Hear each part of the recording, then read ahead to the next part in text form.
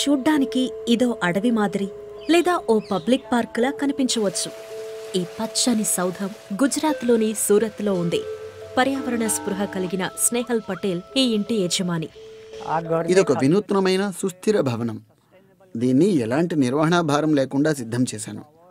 ఈ ఇంటికి బయట నుంచి విద్యుత్ కనెక్షన్ కానీ నీటి సౌకర్యం కానీ డ్రైనేజ్ సదుపాయం కానీ తీసుకోలేదు.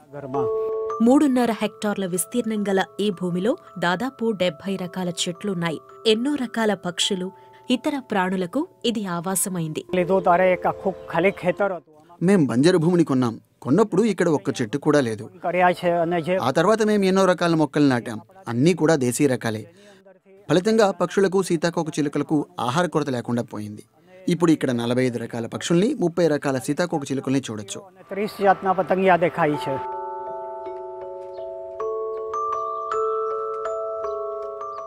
ઘરની અંદર પાવરને માટે સોલાર પેનલો લગાવી છે ఇక కరెంటు కోసం నేను పైకప్పుపై సౌర ఫలకాలను ఏర్పాటు చేశాను విండ్ జనరేటర్ కూడా ఉంది છે કે ચોમાસામાં વાદળ હોય ત્યારે એનો પ- వర్షాకాలంలో మబ్బులు పట్టి ఉండటం వల్ల సౌర పలకల ద్వారా తగినంత విద్యుత్ సరఫరా ఉండదు కానీ ఆ కాలంలో గాలి బాగా వీస్తుంది దాంతో విండ్ జనరేటర్ల ద్వారా నాకు అవసరమైన విద్యుత్ లభిస్తుంది అందువల్ల నాకు బయట నుంచి కరెంట్ కనెక్షన్ అవసరం లేదు నా విద్యుత్ కారును కూడా సోలార్ ప్యానెల్స్ ద్వారానే ఛార్జింగ్ చేస్తాను ચલાવું છું અને ઘરની અંદર પાણી માટે నీళ్ళ కోసం వర్షపు నీటిని ఒడిసిపెడతాను వాననీరు నేరుగా స్టోరేజ్ ట్యాంకులోకి చేరుకుంటుంది.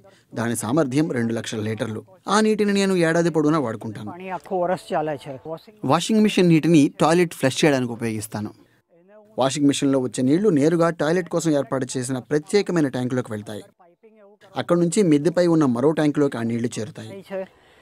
ఆపై టాయిలెట్లోని ఫ్లష్ ట్యాంకులోకి నీరు వెళ్ళి ఏర్పాటు చేశాం మేము నీటిని కూడా పునర్వినియోగిస్తాం. స్నానం చేసిన తర్వాత వచ్చే నీళ్ళను అలాగే వాష్ బేసిన్ ద్వారా వచ్చే నీళ్ళను వేర్వేరుగా సేకరిస్తాం. వాటిని మూడు కుండల పద్ధతిని ఉపయోగించి ఇసుక ద్వారా వడపోస్తాం. ఆ తర్వాత ఆ నీటిలో అంతరతామర మొక్కల్ని పెంచుతాం. వాటి వేళ్ళ గుండా నీరు ప్రవహించినప్పుడు వాటంతట అవే శుభ్రమవుతాయి. ఈ చేపలు అలా రీసైకిల్ చేసిన నీళ్ళలోనే పెరుగుతున్నాయి.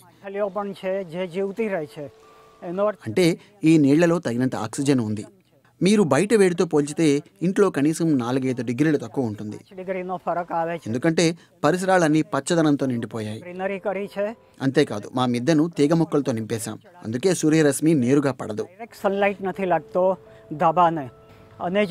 ఈ గోడలను బోలుగా ఉండే సాంకేతిక పరిజ్ఞానంతో కట్టాం.